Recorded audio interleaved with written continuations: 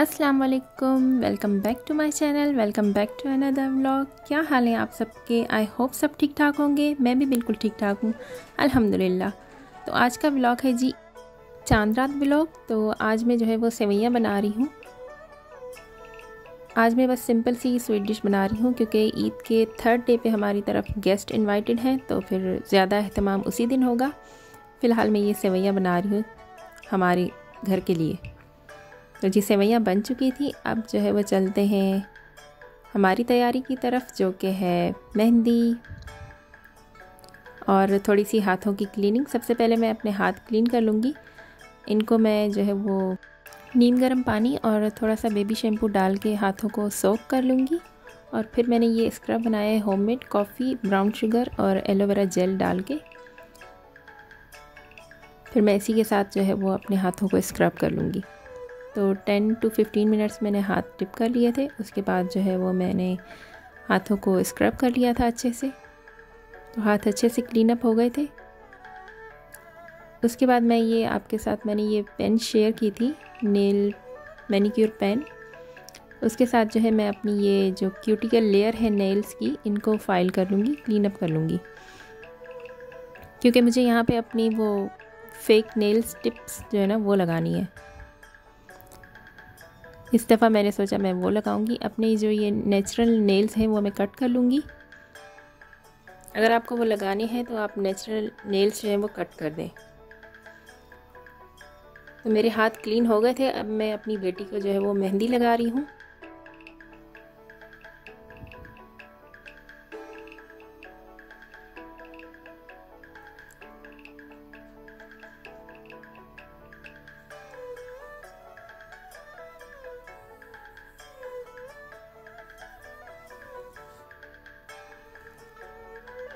अच्छा पाकिस्तान से जो मुझे सबसे ज़्यादा जिस चीज़ का इंतज़ार था वो ये मेहंदी थी।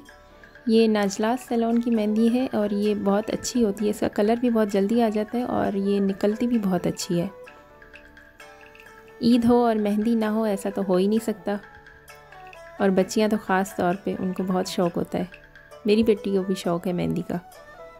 तो उसने अपने दोनों हाथों में लगवाई थी और वो मज़े से बैठी रही थी जब तक उसकी ड्राई नहीं हो गई मेहंदी बिल्कुल भी तंग नहीं किया था। ये ले जी इसकी दोनों हाथों की मेहंदी डन हो चुकी थी।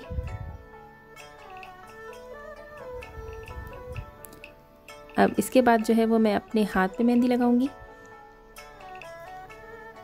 यहाँ पे मैंने बिल्कुल बारीक सी डिज़ाइन सेलेक्ट की थी। क्योंकि मेहंदी अच्छी है तो वो कोई भी डिज़ाइन आप बना लेते हैं अच्छे से लग जाती है।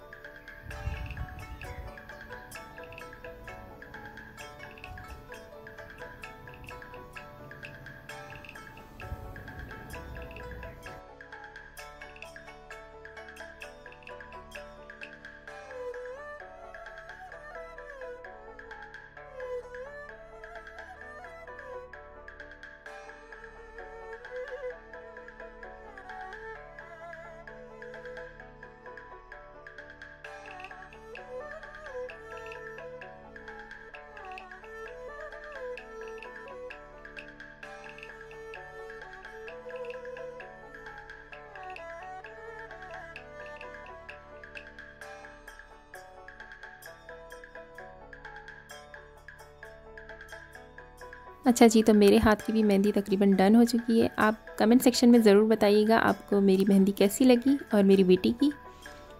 इसके बाद जो है वो अपने मैं नेल्स लगाऊँगी हाथों पे।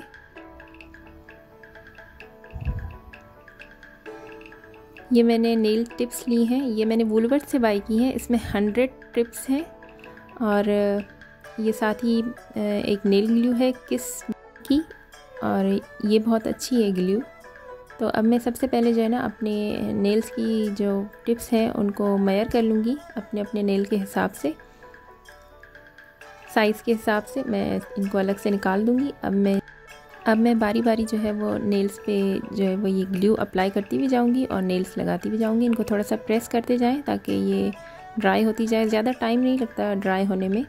और साथ ही मैंने आपके साथ पहले ये स्टिकर्स दिखाए थे। ये मैंने अली एक्सप्रेस से बाई की हैं। आप इनके साथ भी लगा सकते हैं। ग्लू के साथ भी लगा सकते हैं।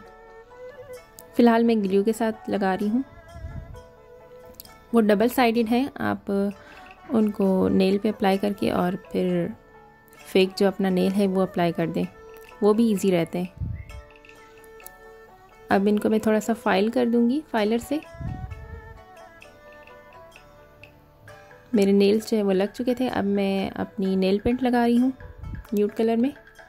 राइवल मी की है, जो कि मैंने आपके साथ पहले भी शेयर की थी कि मैं कहाँ से लेके आई थी। तो यही था आज का ब्लॉग आई होप आपको पसंद आया होगा। आप सबको मेरी तरफ़ से ईद मुबारक। अपना और अपनों का ख्याल रखिएगा, मुझे दुआओं में याद रखिएगा। मिलते हैं नेक्स्ट ब्लॉग में। तब तक के लिए अल्लाह हाफिज़।